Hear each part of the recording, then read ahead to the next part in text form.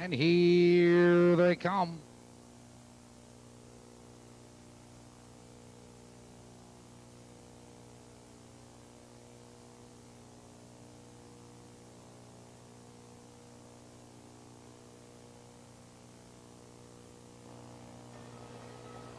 They're off.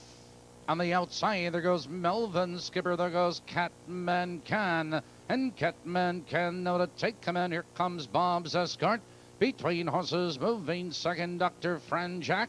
Right them in third, it's Melvin's Skipper, fourth on the outside, followed by Honiton Vance, followed by Broadway Bravado and Earl Bat Trilling, approaching the quarter and Bob's escort. But here comes Melvin's Skipper. Melvin's Skipper under the tap of the whip.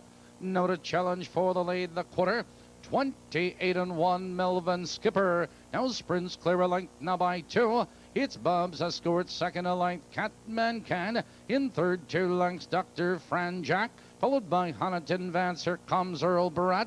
And trailing to the half, Broadway Bravado. They're moving for the half mile marker. It's Melvin's Skipper with the lead. Here comes Honiton Vance. Now third, now second with a rush. It's Honiton Vance to challenge at the half. 58 and 2. Now into the clubhouse turn and Melvin's Skipper maintains a lead. It's Honiton Vance. On the outside of challenging second, Bob's Escort is right there in third. Earl Bratt with cover. It's Catman Can, Dr. Fran Jack, and Broadway Bravado. Now they move into the box to Rich and Melvin's Skipper has a neck in front. It's Honiton Vance moving it closer. Second on the outside, it's Earl Bratt.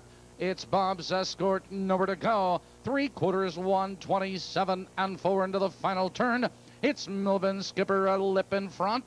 Honiton Vance looks him right in the eye. Here they come, turning for home. It's Melvin's Skipper on the inside. It's Honiton Vance on the outside. Down the stretch, and their necks apart. It's still Melvin's Skipper. It's Honiton Vance charging. It's Melvin's Skipper and Honiton Vance. Melvin's Skipper at the bar.